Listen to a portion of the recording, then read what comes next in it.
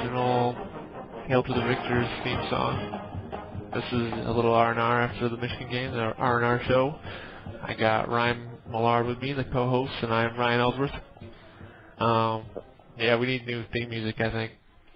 I don't know. Yeah, well, what are you gonna do? I mean, you can either play that or uh, um, any other Michigan, you know, stadium theme, but I don't know. pretty It's, much gonna be unoriginal no matter what. we could do the. uh You ever watch uh Michigan replay? They have they have some good '70s intro music. it's Yeah. pretty good. I think it's the same music that they got when uh, Lloyd was hired about 35 years ago. I think it's like a.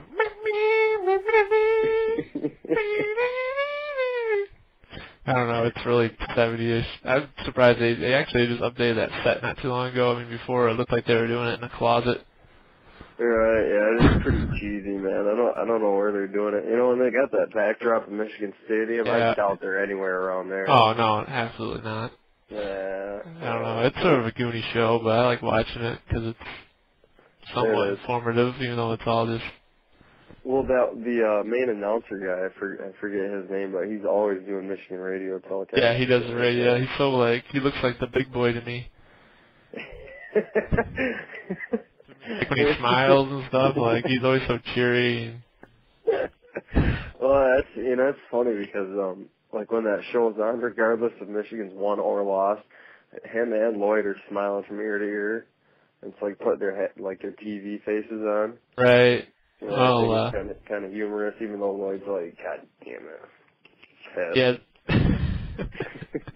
They they were saying it was the toughest show they had to do after that Appalachian State game. This is the Oh. toughest game we've ever, or yeah, toughest show we ever had to record, or whatever. You know. Oh It's uh, it's uh Jim Brad was it Brad Spatter? I can't pronounce his last name. yeah. No, I thought it was George Blaha. George Blaha, no. Kelly Kelly Yeah, I mean, I know his face. I've seen him a lot. He- is a former it's player. Yeah. Yeah, it's a pretty decent show, but I mean, it's kind of boring. Yeah. And the the locker interviews are nice though. I like the locker interviews.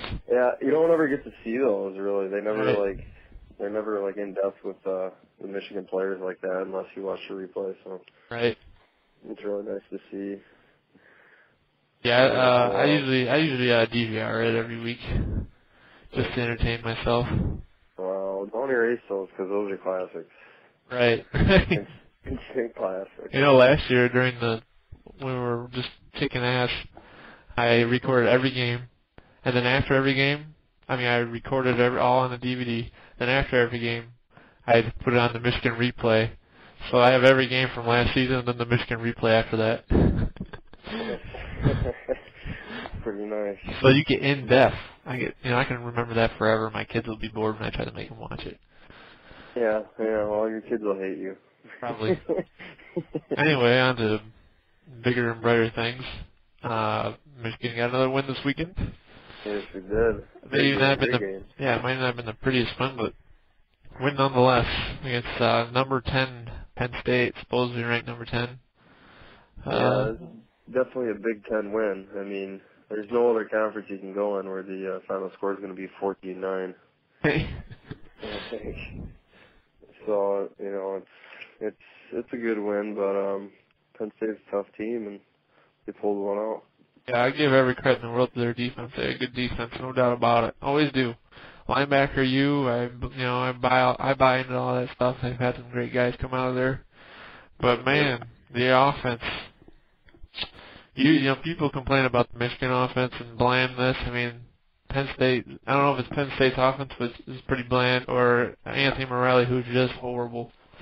Yeah, Morelli, I think he's so overrated. I don't think he should. I don't think he's even rated really. Yeah, I don't know who their backup is, but they should pull somebody else in there because Morelli had a lot of guys open and he blew it. And uh, he's got Deon Butler and Derrick Williams. They're like, I mean, they're a couple of the top receivers in the nation. Like you should be able to get the ball to them, no problem. And they were wide open a lot of times, and he just blew it. Yeah. Oh yeah. He's he's just weird. I don't know. Uh,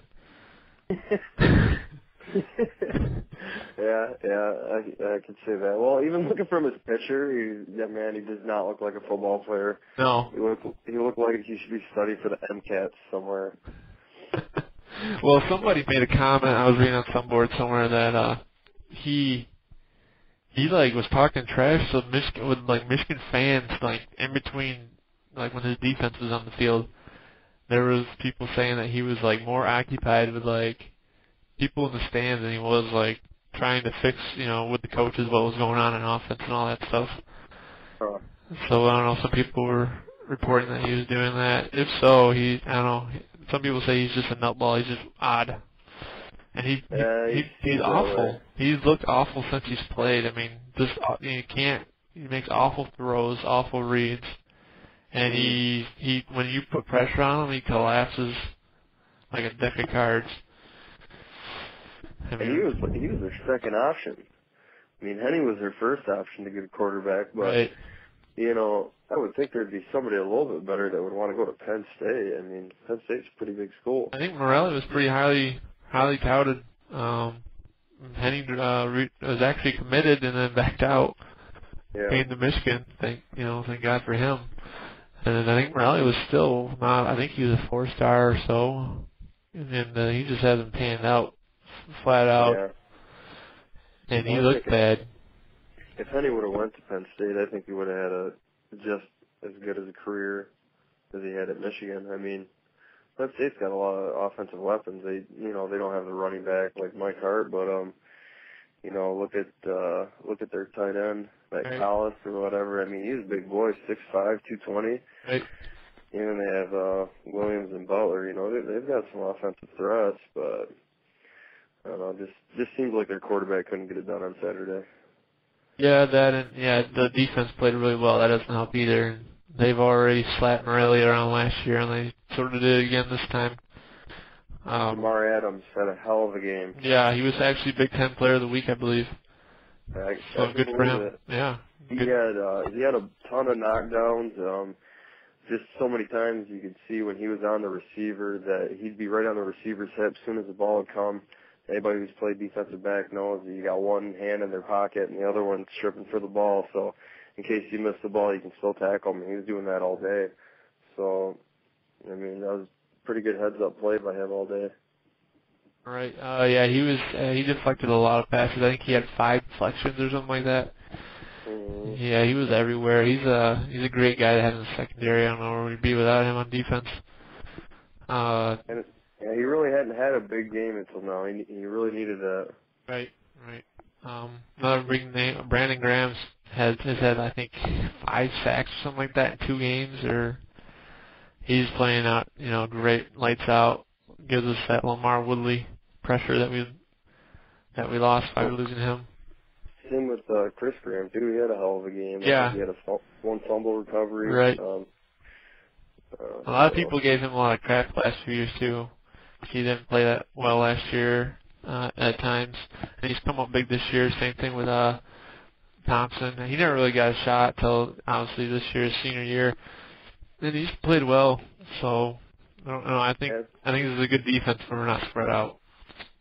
I think he's had uh, a fumble recovery the past two games, once against Notre Dame and once against Penn State here. Got a few interceptions too, Uh, yeah, yeah. and uh, So um, Morgan Trent's showing up. So Morgan Trent is showing up. I'm really surprised and uh, happy that he's doing that this year because he was uh, a big question mark in my eyes last year at the end of the season with the uh, Rose Bowl game and everything. Yeah, He played awful. but I think he he's done pretty damn well. Um, he's getting to the receivers at the same time the ball is. yeah, that was a problem last year.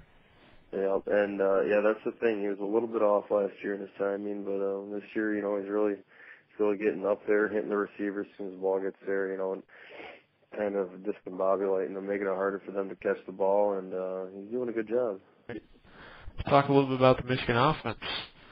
Let me tell you, Mike Hart, unbelievable what yeah, he can Mike do. Hart, Mike Hart, Mike Hart. It's, it's all you can say. You don't need anybody else.